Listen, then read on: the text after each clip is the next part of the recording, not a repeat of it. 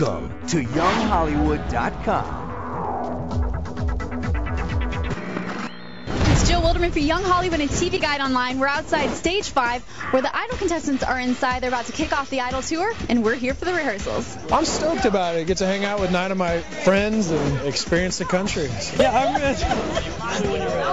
I was gonna get serious here. I was just teasing him in the hall. Uh, So you guys really don't have fun together. This summer is gonna be no fun. We're gonna have a lot of fun this summer. It's gonna be great. Getting ready to go on tour.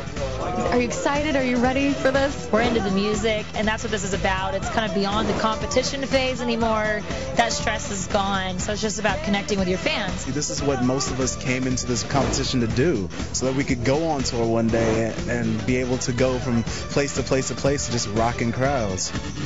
I was looking forward to. Like, is there a city that you really are excited about, or just being together? Home, right? Aren't you excited Yeah, I'm about going excited home? to be home for sure. But but I mean, I'm really excited about every city. You know, every city's just a whole new world every time. When I got to do the, like the Smelly Van touring in bands before all this, I really enjoyed the idea. I think it's really romantic to wake up in a different city every day. I think it's gonna be good for my soul. I'm excited to go all over the country. I'm excited to get to the south. I miss country ham. So uh, I can't wait to get to Hardee's and get some country ham biscuits with grape jelly. I will be pulling the tour bus outside of Hardee's. I'm very excited to go to Portland and Texas because I lived in both areas. Who's gonna be the prankster on the tour bus this summer? Michael Johns. Over there, he just grew a mustache. I don't know why they're saying that. It's so annoying. I keep. I'm so serious and you know. Deep. He's very, uh, he's very kept to himself. Somba. There's a girl tour bus and a boy tour bus. What's gonna be messier? I mean, girls can be messy too, and I know because I've lived with some of them. but my personal space, I like to keep clean. We've talked to the previous seasons. It's always the girls' bus.